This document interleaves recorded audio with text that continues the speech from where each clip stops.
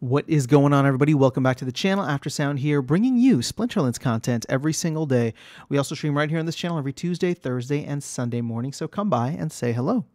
All right, guys. Well, I wanted to talk about why I think so many, so, so many of the older alpha, beta, and even untamed cards are going to get absolutely wiped off the market. Now, maybe not the maybe not the you know, ones that are super clutch for the meta, but I think anything that is just like mediocre to okay or even just like slightly good has a chance of being removed. And here's why because when it comes to PP, I didn't care about PP before, but obviously getting the keep made me much more interested because I actually have a land now that I want to maximize. So I'm not even going to look at castles. I just want to look at keeps for a second because I was doing the math for myself. Now, it's it's a little complicated here, but essentially what you need to know is that in order to receive the maximum amount of the taxes that you can get from uh, you know from your your tract or for castles for the entire region, you have to have a certain amount of PP. And the thing is, we'll, we'll look at we'll look at keeps for example, right? You max out by getting 50% total, but it's it's a I believe a logarithmic scale that you can see essentially has diminishing returns over time depending on the amount of production points you have.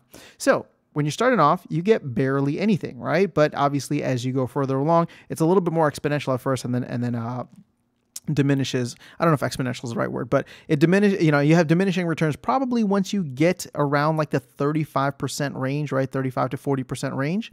So when I'm looking at this, it's just like, okay, well, if I want to maximize the amount of, of, uh, you know, that I'll be able to earn through this, right? So get as close to 50% as possible. I'm looking at this and saying like, okay, well, even a million production points is only going to get, you know, that won't even get me 15% uh, uh, 50%, I'm sorry.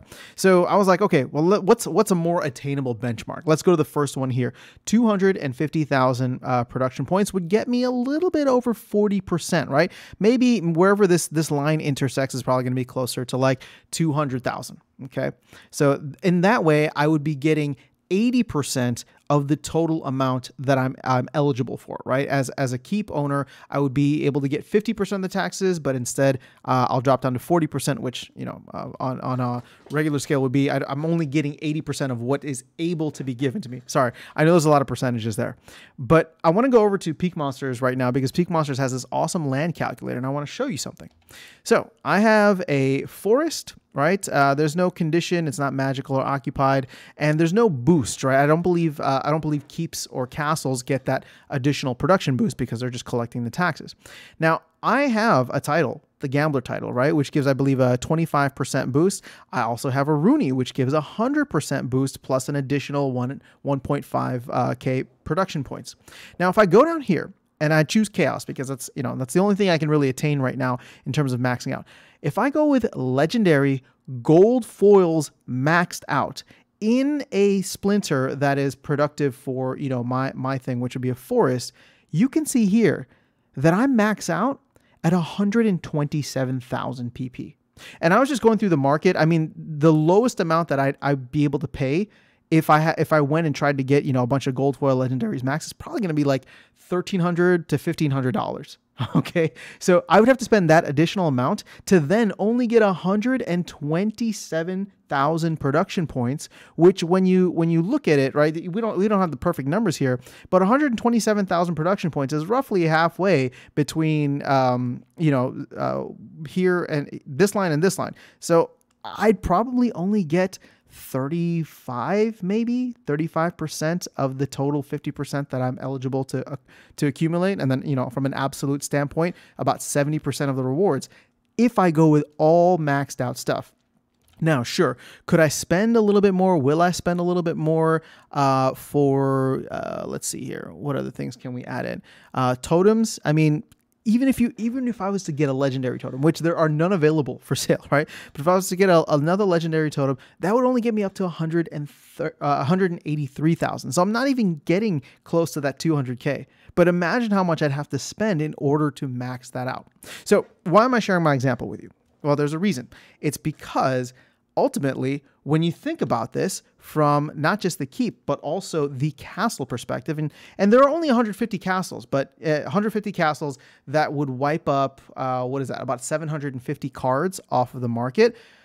It's it's still like look at the production points here. It's you know th- this scale is different, right? This goes up to two million uh, production points, and so you'd really be going after a lot of those alpha gold foil legendaries, those beta gold foil legendaries. Again, in order to get roughly what is this, 15%, so about 75% total, this is gonna this is gonna be 250,000 you know production points. So to me, this has the potential to wipe out a ton of those uh, alpha, beta, gold foil, legendaries, epics, whatever the case is, right?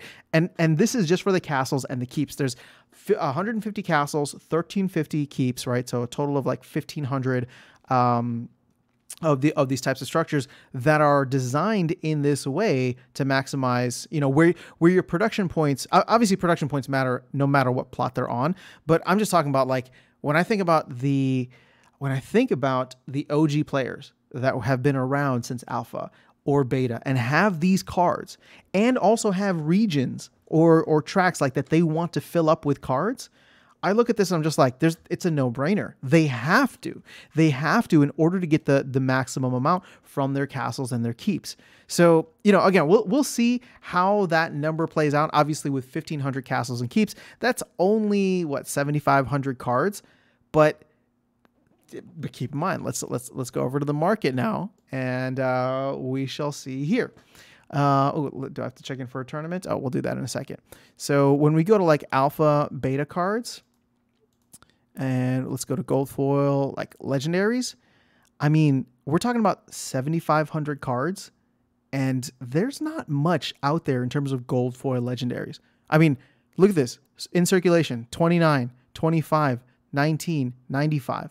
So th- this is what I'm trying to get at here. I, we can't fully quantify it, but I do think it's going to be a major it's going to be a major drain for both of these sets maybe even dipping into untamed a little bit uh, which is why you know if you've if you've been in map chat you've probably seen weirdbeard talking about them re-looking at both tournaments and brawls for alpha right? Uh, alpha tournaments and brawls or alpha and beta tournaments and brawls for example because a lot of those cards are going to be impacted by land and if there's no cards available to play it could be interesting. I, I don't know what's going to happen. I don't know what the right answer or the wrong answer is, but to me, I just this was just an interesting kind of like thing while I was looking for my own stuff, and I wanted to share it with you. But uh, look at this, even untamed.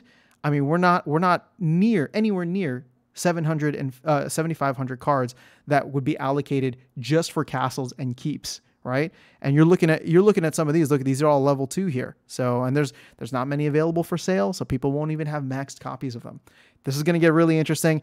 I am super super pumped for Land Phase 1.5. I hope it comes sooner rather than later. But let me know your thoughts in the comments below. I'll catch you all in the next video and see you around the game. Take care.